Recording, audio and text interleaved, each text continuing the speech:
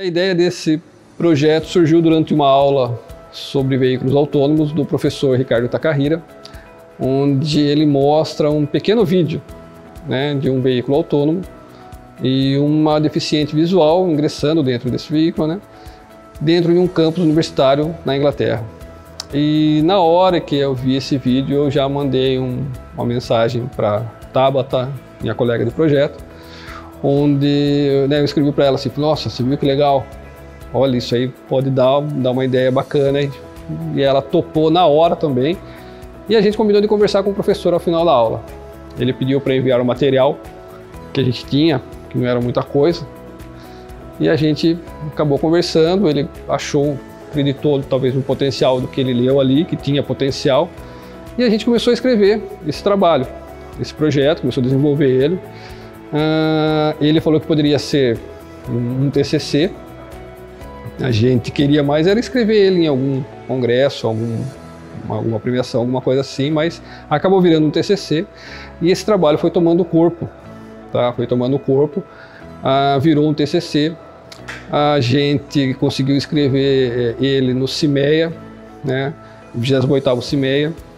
Uh, e conseguimos escrever ele também no prêmio AEA é, 14 Prêmio AIA Meio Ambiente 2021, onde a gente acabou conquistando o primeiro lugar na categoria Responsabilidade Social e também consegui inscrever ele na, para ser apresentado né, no Congresso de Cidades Inteligentes, que ocorrerá em setembro, entre os dias 1 e 3 de setembro, em São Paulo, uh, que é o Connected Smart Cities.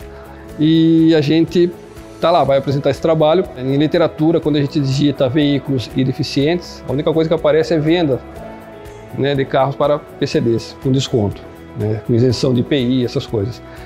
E não tem nada. Tanto é que todo o material que a gente começou, a gente se baseou, a gente encontrou fora do Brasil. E ali a gente foi alinhando as informações e buscando as demais informações aqui dentro, né, junto a pessoas com deficiência, é, estrutura, estrutura viária e até mesmo do veículo.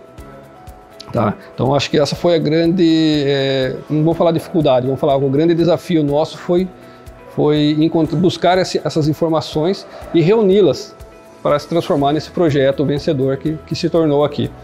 É, é, o objetivo nosso é, é, sempre foi buscar alguma fazer alguma coisa que pudesse melhorar a qualidade de vida das pessoas e e acho que esse foi o primeiro passo, né? A gente não pode deixar um projeto desse acabar por aqui, tá?